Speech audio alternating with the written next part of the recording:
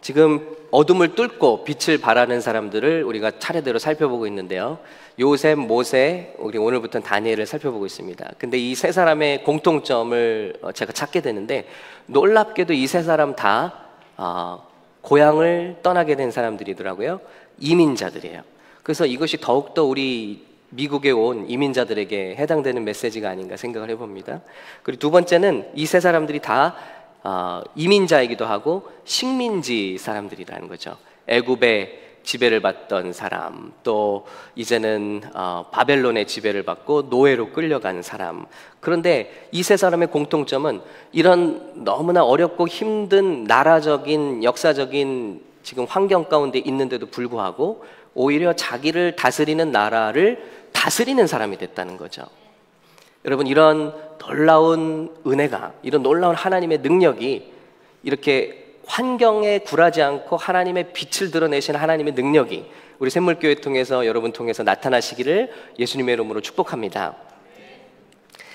오늘 다니엘을 어, 역사가 어떻게 평가하고 있는가 생, 어, 찾아보면 이렇게 세 가지로 말하고 있어요. 첫 번째는 계시의 사람. 우리 한번 해볼까요? 계시의 사람. 그래서 다니엘은 하나님의 음성을 듣는 사람입니다. 어, 다니엘처럼 하나님의 음성을 세밀하게 들은 사람이 없죠. 특별히 인류 역사에 대한 예언들을 그가 다 했죠. 이미 다니엘은 예수님 오시기 전에 600년 전의 사람입니다. 근데 그는 벌써 바벨론, 그 다음에 일어날 페르시아, 그 다음에 일어날 그리스, 그 다음에 일어날 로마, 그 다음에 예수님 오심까지 다 예언을 했죠. 그래서 어, 역사가 요세푸스에 따르면 실제로 알렉산더 대왕이 나라들을 점령할 때 이스라엘을 점령하러 왔다는 거예요. 그런데 거기 제사장들이 다니엘의 예언서, 300년 전에 다니엘의 예언서를 알렉산더에게 보여주었대요. 이것이 이 그리스가 바로 당신의 나라입니다. 이미 하나님께서 당신을 예언하셨다. 이 말을 듣고 알렉산더가 감동을 받았다 그래요. 그래서 이스라엘을 어, 파괴하지 않고 그는 살려주었다고 하는 실제 이야가, 이야기가 있을 정도로 다니엘은 계시의 사람입니다. 두 번째 다니엘은 또 어떤 사람일까요? 기도의 사람입니다. 기도했던 사람이에요. 우리 다 알다시피 그는 하루에 세 번씩 시간을 정해서 그 바쁜 일상 중에서 그는 하나님께 기도했던 사람이다. 그리고 세 번째 오늘 우리가 나누기 원하는 것은 다니엘은 어, 결단하는 사람이다. 결단하는 사람이었다는 것이죠. 그렇게 기도를 하는데 왕의 명령이 떨어졌습니다. 이제 그렇게 기도하는 사람, 다른 신에게 기도하는 사람은 어, 죽임을 당할 것이다. 그런데도 불구하고 다니엘은 뜻을 굽히지 않고 그런 왕의 명령이 떨어졌다는 것을 알면서도 하루에 세 번씩 예루살렘을 향해 난 창을 통해서 기도했다라고 되어 있습니다. 뿐만 아니라 오늘 말씀을 보면 그는 10대의 소년으로 친구들과 함께 바벨론에 잡혀왔지만 그는 정보광 느부갓네살 앞에서도 굴하지 않고 어, 나는 이런 우상에게 바쳐진 그런 고기들 산의 진미를 먹지 않겠습니다 하고 자기의 뜻을 어, 굽히지 않고 거룩을 결단했던 사람으로 우리가 생각해 볼 수 있습니다. 오늘은 이 세 번째 결단에 대해서 우리 어, 나눠보기 원합니다. 오늘 이 세상은 느부, 어, 느부갓네살 왕처럼 바벨론처럼 애굽처럼 우리를 이렇게 잠식해 옵니다. 첫 번째 그들이 한 일은 뭐냐면요. 그 나라는 이 세상 나라는 바벨론의 상징이죠. 바로 하나님의 백성들의 이름을 바꾸고 있어요. 그래서 말씀을 보면 첫 번째 그가 한 일은 이름을 바꾸는 겁니다. 그래서 다니엘은 벨드사살이라고 하고 하나냐는 사드락이라 하고 미사엘은 메삭이라고 고치고 아사라는 아벤누고라고 고쳤다. 이게 세상이 하는 일이다. 바로 성도들의 아이덴티티를 지우려 한다는 거죠. 여러분 이건 굉장히 중요합니다. 문화가 바뀌어도 사단이 하는 일은 똑같아요. 우리는 어떤 사람들이죠? 하나님의 선택받은 백성, 왕 같은 제사장, 하나님의 사랑하심을 입은 아들, 딸들인 줄로 믿습니다. 근데 세상은 어떻게 이걸 바꾸죠? 이 공부도 못하는, 이 돈도 없는, 가정 백그라운드도 좋지 않아서 흙수저인, 그렇게 자꾸 우리를 이름을 붙이고 있다는 것입니다. 그렇기 때문에 우리는 자녀들에게 하나님께서 우리에게 주신 아이덴티티를 계속 말해줄 필요가 있는 거예요. 세상이 너를 뭐라고 말하든, 세상이 너를 실패자로 말하든, 세상이 너를 약한 자라고 말하든, 세상이 너를 아무것도 할 수 없는 자라고 말하든 상관없다. 그것이 우리가 예배 때마다 I am을 외치는 것입니다. 누구든지 하나님 안에 있으면, 그가 예수 그리스도 안에 있으면, I am beautiful. I am accepted. I am beloved. I am blessed. 그래서 우리 자녀들에게 이것을 아, 외치는 것입니다. 세상은 그들에게 갖가지 레이블을 붙이기 때문입니다. 그러나 하나님 안에 우리는 이런 존재다. 두 번째, 세상은 그들의 교육을 통해서 생각을 바꾸려고 하고 있습니다. belief system이죠. 그래서 어, 모든 점성술을 또그 당시에 최고의 과학 을 가르치면서 이들이 하나님을 섬기던 그들의 사상과 생각으로부터 완전히 갈대아인의 생각, 바벨로인의 생각처럼 그들을 바꾸려고 하는 것이죠. 지금 우리 세상과도 똑같습니다. 우리 아이덴티티를 공격하죠, 사단은. 그리고 난 다음에 뭘 공격하죠? 그 다음에 우리의 생각을 무너뜨리기 위해서 교육하기 시작합니다. 잘못된 법을 만듭니다. 학교에서 진화론을 가르치면서 신앙은 고리타분한 것이고 동화 같은 이야기에 불과하다. 그래서 우리 자녀들이 학교를 다니면서 많이 믿음이 떨어집니다. 바로 이런 것이죠. 세상의 것들이죠. 세 번째는 이 세상은 우리의 라이프 스타일, 우리의 습관을 바꾸기 원해요. 그런데 사실 이름을 바꾸거나 우리를 교육하는 건 우리가 어쩔 수가 없잖아요. 학교에서 그렇게 가르치는 걸 뭐 어떻겠어요? 우리도 배워야죠. 왜냐하면 그것을 믿기 위해서 배우는 것이 아니라 그것을 배워서 하나님의 영광을 위해서 사용할 뿐만 아니라 배워서 그들의 또한 허점을 우리가 아, 잘 방어하고 공격할 수 있는 사람이 되기 위해서는 잘 배워야겠죠. 우리 자녀들 배워야겠죠. 하나님께서 쓰신 큰 사람들을 보면 구약에서 모세도 최고의 교육을 받은 사람이고 신약에서 바울도 최고의 신학을 공부한 사람이죠. 그래서 우리에겐 교육이 필요한 것이지만 그러나 우리가 세상에서 배운다고 마음을 바꾸지만 않으면 된다는 것이죠. 그런데 습관을 바꾸는 얘기는 다른 것이죠. 우리 영적인 라이프 스타일까지 세상은 바꾸려고 한다는 것입니다. 다니엘과 세 친구는 1번, 2번을 허락했습니다만은 3번은 바꿀 수 없었습니다. 왜냐하면 그것은 그들이 어렸을 때부터 들어왔던 하나님의 말씀과 반대되는 내용이죠. 그들은 어렸을 때부터 무엇이 정한 것인지, 무엇이 부정한 것인지 이것을 지켜왔기 때문이죠. 그런데 왕의 산의 진미, 지금까지 먹어보지 못했던 각종 음식물과 그리고 와인, 술들을 마시게 하면서 완전히 갈대아인 스타일로 그들을 바꾸려고 했을 때 이 세 친구는 이것은 반대했다는 것입니다. 무언가 이렇게 결단한다는 것이 무엇인가? 저는 첫 번째, 결단하는 사람은 살아있다는 것을 말한다고 생각합니다. 영적으로 살아있기 때문에 결단할 수 있는 거예요. 여러분, 그렇지 않나요? 오늘 이 자리에 오기까지 누군가 결단했죠? 영적으로 살아있기 때문에. 더 자고 싶은데 일어났죠. 살아있기 때문에, 예배해야 하기 때문에 이 자리에 오신 것입니다. 로마서 12장 2절은 이렇게 말씀합니다. 다 같이 읽을게요. 아, 이 말씀 준비 안 됐으면 죄송합니다. 예, 너희는 이 세대를 본받지 말고 오직 마음을 새롭게 함으로 변화를 받아 하나님의 선하시고 기뻐하시고 온전하신 뜻이 무엇인지 분별하도록 하라. 여러분, 세대, 이 세상에 하는 것을 그대로 따라가면 죽은 것이라는 것이죠. 물고기가 살아있는 이유는 무엇이죠? 물고기 살아있다는 것을 어떻게 알죠? 끊임없이 물살을 느낍니다. 그 얼굴에 물살을 느끼고 그 물살의 반대 방향으로 나가기로 결단하는 것이죠. 순간순간마다 결단이에요. 그러나 죽은 물고기는 결단하지 않습니다. 흐르는 물과 같이 흘러가는 것이죠. 여러분, 저와 여러분의 모습은 어떤 모습입니까? 무언가 영적으로 고민하고 있고 결단하기 원하고 있다면 여러분 우리가 영적으로 살아있다는 것입니다. 다니엘은 결단하는 거예요. 그리고 우리가 무언가 영적으로 결단한다는 것은 환경에 지배되지 않는다는 것입니다. 생물은요, 항상성이라는 게 있습니다. 그래서 밖에가 어떻게 되든 우리 안에 체온도 유지하고 맥박수도 유지하고 이런 모든 것들을 유지해요. 만약에 밖이 100도가 됐다고 내 몸도 100도가 됐다면 이건 뭐죠? 고기 덩어리예요. 더 이상 생물이 아닙니다. 즉 우리가 신앙인으로서 결단을 한다는 것은 우리는 환경을 이 세상 속에 살고 있지만 우리가 이들의 지배권 밖에 있고 우리는 하나님의 영광을 드러낸 사람들이라는 것을 알고 있고 그것을 프랙티스하는 사람들이라는 것입니다. 여러분 한번 세상을 보세요. 세상은요 가만히 있으면 지옥으로 가는 것으로 우리를 끌고 가고 있어요.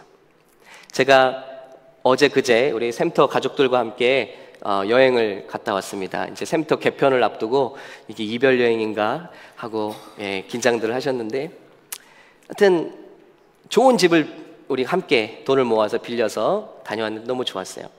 근데 가서 보니까 시설이 너무 좋아요. 그래서 이렇게 방을 한쪽을 다 소파로 둘러놨어요. 그리고 한쪽 벽면에 영화관을 만들어 놨어요. 그래서 영화를 쏠 수 있도록. 그래서 우리가 막 얘기하면서 그 소파에 앉아서 가족 소파에 앉아서 막 얘기를 하고 있는데 갑자기 내 옆에 있던 황선한 집사님이 갑자기 밑으로 쭉 꺼져 내려가는 거예요. 알고 보니까 recliner예요. 그래서 뭐 버튼을 눌렀더니 자기도 눌렀더니 쭉 사람이 얘기하는데 갑자기 쭉 내려가는 거예요. 그러니까 완전히 누워서 그 벽을 보면서 온 식구가 거의 10명 앉을 수 있게 다 recliner를 해놨어요. 와, 너무 좋으면서도 이게 우리를 이렇게 만들고 있구나, 세상이. 그저 모이면 스크린 문화, 모이면 스포츠. 이 세상은 가만히 있어도 이 세상의 세 가지 우상을 말하고 있죠. 팀 켈러 목사님이. 첫 번째, 스크린. 두 번째, 스포츠. 세 번째는 말씀 안 들어줘야 알겠죠. 섹스. 성에 관한 것들입니다. 이거는 결단하지 않아도 돼요. 여러분 생각해 보세요. 우리 육신을 따르는 길은 결단합니까? 아, 내가 그 맛집에를 꼭 가야겠다. 이 결단합니까? 아니, 그냥 몸이 가시잖아요. 여러분, 영화관에 가면서 무슨, 무슨 영화 봐야겠다. 아주 결단하십니까? 아니요, 그냥 가 있잖아요. 그런데 영적인 거는 결단이 필요하다고요. 결단해야지만 우리가 지켜낼 수 있고 이겨낼 수 있는 게 영적인 싸움이라는 것입니다. 이 세상은요, 아무것도 결단하지 않고 내버려두면 지옥으로 편히 갈 수 있도록 만들어 놨다는 것이죠. 우리가 영적으로 살아있다는 것은 결단할 수 있는 능력이 살아있다는 것입니다. 할렐루야. 다니엘은 그 능력을 사용하고 있는 거예요. 이름을 다른 사람들이 뭐라고 부른 것 같지는 어쩔 수 없어요. 내 이름을 뭐 다르게 부르는데 어떻게 할 거예요, 그거? 학교에서 가르치는 것 같지 우리가 막 바꿀 수는 없어요. 어떻게 열심히 배워서 우리는 하나님의 영광을 위해서 써야죠. 그러나 우리의 삶 가운데서 하나님을 예배하지 못하게 하고 기도하지 못하게 하고 우리의 습관을 라이프 스타일을 완전히 세상의 스타일로 바꿔버린 것들은 우리가 얼마든지 깨어서 분별하고 이것을 이겨낼 수 있다는 것입니다. 여러분, 우리가 이렇게 결단할 수 있다는 것이 믿음이 있다는 증거인 것입니다. 세 번째. 야고보서는 말합니다. 너희가 믿음이 있으면 나에게 보여라. 행위가 뒤따르지 않는 믿음은 죽은 믿음이라고 했습니다. 모양뿐인 믿음, 말뿐인 믿음.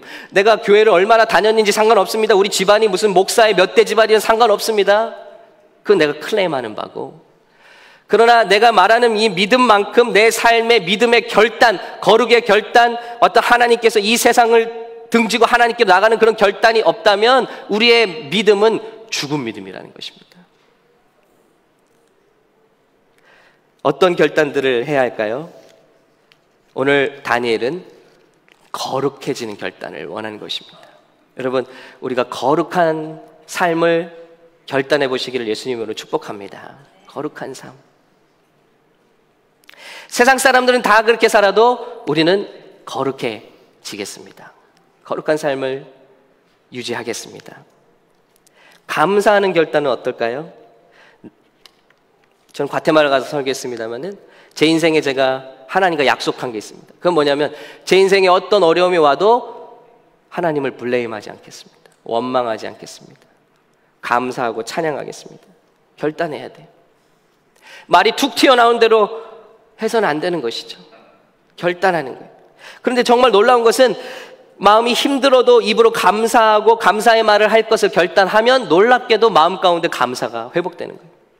꼭 마음이 감사해서만 감사하는 것이 아니라 입으로 감사를 선포해버리면 내 입술에 나온 열매로 내가 배부르게 되리라는 말씀처럼 감사가 정말 내 마음 가운데 회복되더라는 거예요.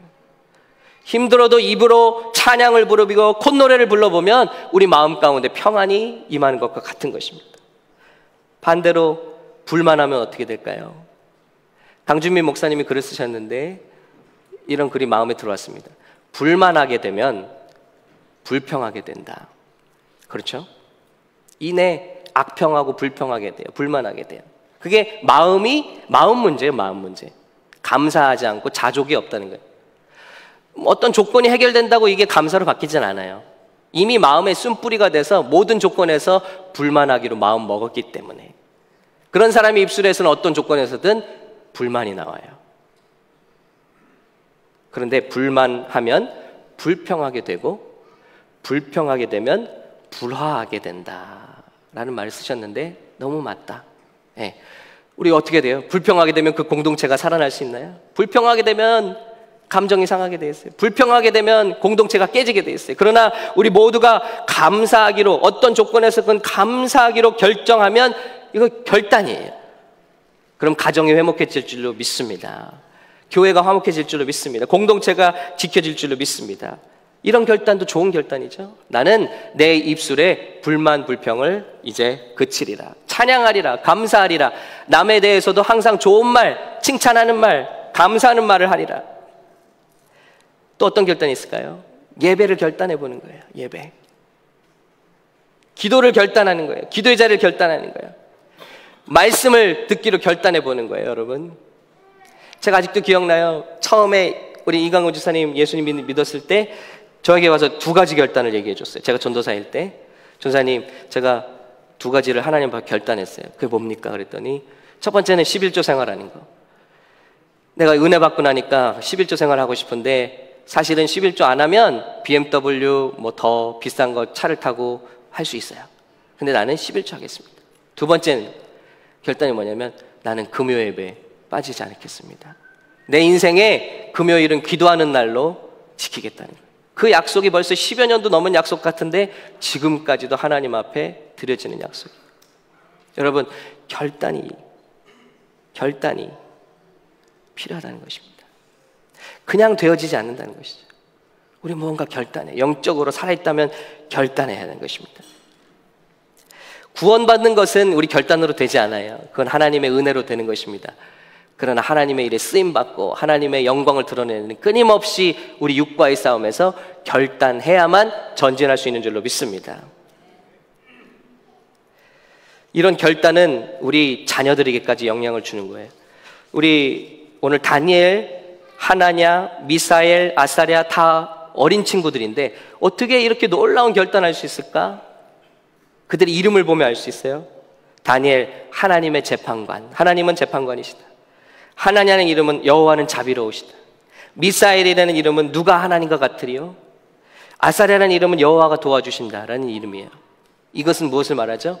그들의 믿음의 결단이 어디서 튀어나온 게 아니라 그들의 부모님의 영성으로부터 신앙 교육으로부터 왔다는 것을 우리가 짐작할 수 있는 것입니다. 여러분, 우리 부모님 세대가 결단할 때 우리 자녀들도 주님 앞에 세워지는 귀한 역사가 있을 줄로 믿습니다. 마지막으로 하나님이 보상이 있어요. 오늘 말씀해 보니까 그들이 결단할 때 하나님은 내버려 두시지 않습니다. 저와 여러분이 무언가 믿음의 결단을 할 때 하나님의 성령께서 우리를 도우신다는 거예요. 어떻게 도우시죠? 하나님이 다니엘로 하여금 환관장에게 은혜와 긍휼을 얻게 하신지라. 하나님이 주변 환경을 바꾸시기 시작하는 거예요. 사람들의 마음을 움직이시기 시작하는 거예요. 저와 여러분의 마음에 감화 감동을 주시기 시작하는 거예요. 언제요? 우리가 믿음으로 결단하고 다른 삶을 살기 시작할 때 성령께서 일하시기 시작하신다는 것입니다. 할렐루야.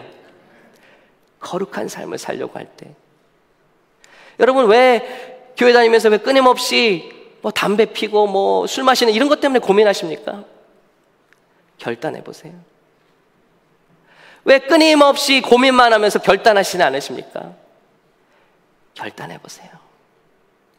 하나님을 의지해 보세요. 하나님이 정말로 도와주십니다. 결단이 있어야 돼요.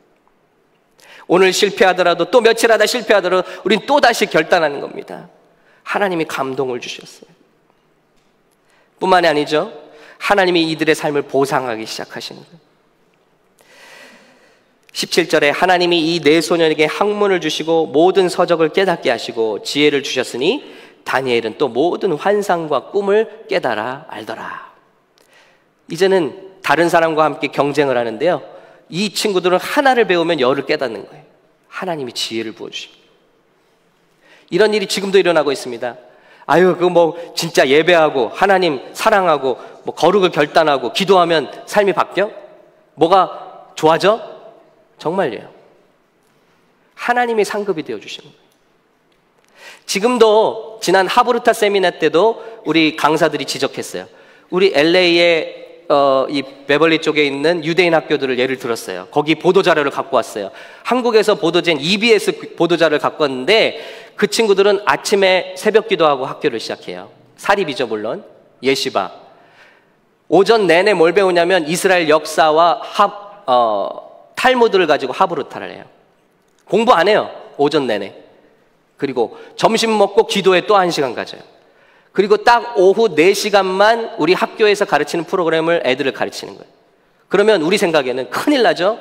쟤들 바보 되는 거 아니야?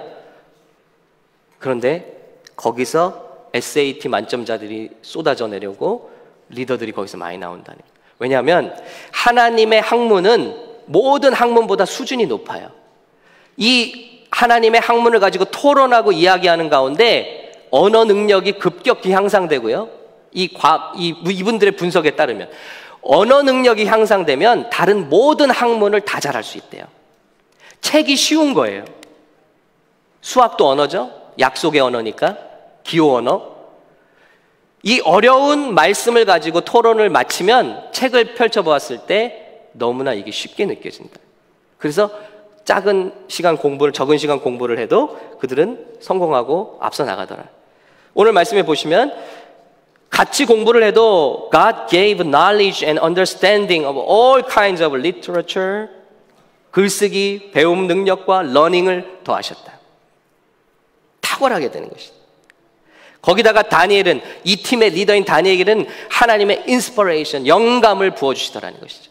그래서 몽조를, 꿈을, 하나님의 꿈을 깨달아 알더라. 여러분, 이런 놀라운 은혜와 특별한 상급이 우리 청년들에게, 정말 결단하는 청년들에게 임하시기를 예수님의 이름으로 축복합니다. 더군다나 다니엘에게 임한 축복은요, 거기서 끝나지 않았어요. 다니엘은 21절 보면 고레스 왕 원년까지 있으니라. 나라가 바뀌고 바발론이 무너지고 페르시아가 떠올랐지만 그는 거기서도 페르시아의 국무총리가 되어서 고레스 왕이 페르시아 왕이거든요. 끝까지 하나님의 영광을 드러내는 놀라운 탁월한 존재가 되었다는 것입니다. 여러분, 하나님은 결코 거룩을 택하는 백성들을 내버려 두시지 않습니다. 하나님은 결코 하나님을 찾는 백성들을 그냥 내버려 두시지 않습니다. 하나님은 그들의 상급이 되어 주시는 줄로 믿습니다. 오늘 읽진 않았지만 이 장의 마지막에 가보면요. 이제 느부갓네살 왕이 다 이 소년들을 불러요. 세계 각국에서 잡아온 아주 우수한 청년들의 집단이잖아요. 3년 후에 그들을 테스트해 보는데 다니엘과 세 친구들은 다른 친구들보다 몇 배나요? 두 배? 세 배? 열 배나 실력이 뛰어나더라. 할렐루야. 이것이 하나님의 말씀을 사랑한 하나님의 축복인 줄로 믿습니다. 이런 교육을 시켜야 하지 않겠습니까? 이런 결단을 우리가 해야 되지 않겠습니까? 우리 교회에서 할 일이 결단할 일이 딱 아주 심플해요. 요걸로 읽고 마치겠습니다. 디모데전서 4장 3절인데요. 4절 우리가 한번 같이 읽어보겠습니다. 이거를 교회에 가르치라고 그랬어요. 사도 바울이. 자, 시작. 하나님께서 지으신 모든 것이 선함에 감사함으로 받으면 버릴 것이 없나니. 예. 먼저 모든 것을 감사함으로 받는 훈련을 하라. 그리고 두 번째, 하나님의 말씀과 기도로 거룩하여 짐이라. 거룩을 원한다면 말씀 생활, 기도 생활로 돌아가야 된다. 6절, 내가 이것으로 형제를 깨우치면 그리스도 예수의 좋은 일꾼이 되어 믿음의 말씀과 내가 따르는 좋은 교훈으로 양육을 받으리라. 좋은 교회가 뭐냐? 좋은 목사가 누구냐? 성도들로 하여금 바로 이것, 기도와 말씀에 전념하게 하는 리더가 좋은 거예요. 주일은 막 모이는데 기도하는 모임엔 사람들이 안. 말씀 배우는 모임엔 관심이 없어. 다 이 세상 먹고 놀고 마시고 3S, 스크린, 스포츠, 섹스 여기에만 관심이 있다. 이거는 교회가 아니라는 거예요. 좋은 목사가 아니라는 거예요. 내가 이것으로 형제를 깨우칠 수 있다면 너는 그리스도 예수의 좋은 일꾼이다. 여러분, 저도 상 받게 해주십시오. 우리 주님 앞에 다른 거 몰라도 말씀 사모하고 기도하기 힘쓰는 우리 교회가 되시기를 예수님의 이름으로 축복합니다. 예, 조금 부족해도 상관없어요. 우리 조금 늦게 가도 상관없어요. 우리가 건강하게 이 말씀과 이 기도 생활을 붙들 수 있다면 그게 주님의 바램이라. 망령되고 허탄한 신화를 버리라. 이 당시에 망령되고 허탄한 신화가 뭐죠? 그리스 신화 말하는 거예요. 신들과 신들의 wives, 신들의 아내들. 그래서 그리스 사람들이 뭘 추구하죠? 육체미, 운동, 레슬링, 그리고 글라디에이터, 전투하는 그 모든 것에 빠져 있었어요. 세상 사람들 추구하는 게 이게 성공이야. 이런 것들을 과시했다는 거예요. 그런 것들 빠지지 말라. 세상의 유행과 세상의 성공 빠지지 말고 경건에 이르도록 내 자신을 연단하라. 그런데 경건과 거룩은 뭐라고요? 하나님의 말씀과 기도로 거룩하여짐이라. 8절은 같이 읽겠습니다. 시작. 육체의 연단은 약간의 유익이 있으나 경건은 범사에 유익하니 금생과 내생의 약속이 있느니라. 어, 짐에 가서 운동하는 것도 중요해요. 그러나 그것은 잠깐의 유익이 있을 뿐이에요. 그러나 우리가 말씀과 기도로 돌아가면 주님의 말씀에 이 세상과 앞으로 오는 세상에 하나님의 약속이 있다는 것입니다. 할렐루야. 왜 우리가 이 세상의 것에만 탐닉하겠습니까? 미쁘다 이 말이여 모든 사람들이 받을 만하도다. 이를 위하여 우리가 수고하고 힘쓰는 것은 우리 소망을 살아계신 하나님께 두미니 곧 모든 사람 특히 믿는 자들의 구주시니라. 오늘날 신앙생활 오래 한 사람들도 소망이 세상에 있는 사람들이 있습니다. 그러나 지금 갓 예수님을 믿은 사람이라 할지라도 소망이 하늘나라에 있는 사람들이 있습니다. 이런 사람들은 끊임없이 거룩을 결단하며 하나님의 말씀을 통해 배우고 하나님의 기도를 통해 사는가 교통하기를 힘쓰는 자들인데 이런 거룩한 결단의 사람들이 저와 여러분이 되어서 이 마지막 시대를 주님 앞에 쓰임 받고 영광 돌리는 저 여러분 되시길 예수님 여러분 축복합니다.